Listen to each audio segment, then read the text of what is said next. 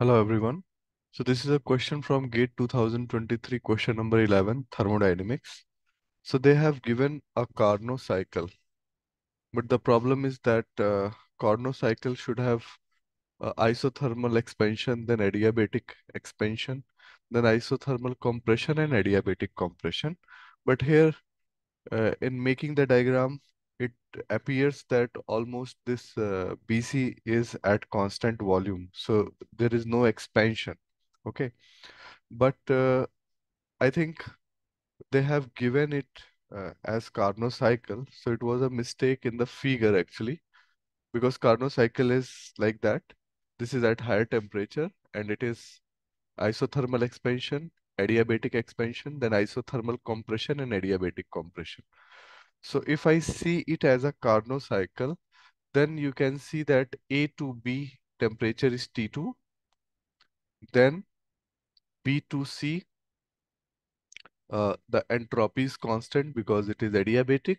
Then C to D, again temperature is T1 and then D to A, again entropy is constant. So actually this should be the answer.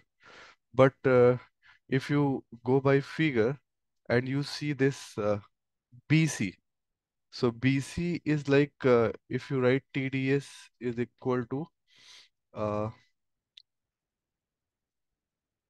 C dt plus PdV.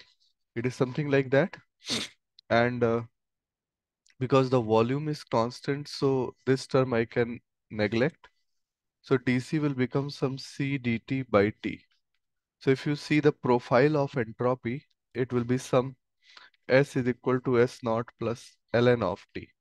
So none of the figures uh, look like this, the logarithmic type of, so they have made straight lines here.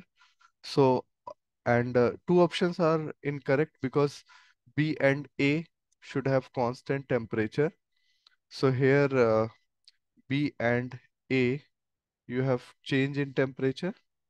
And here uh, B and A, I mean your A to B, A to B is again change in temperature. So they are incorrect. And this is not showing the log nature. So that's why I think that there was a mistake in the figure.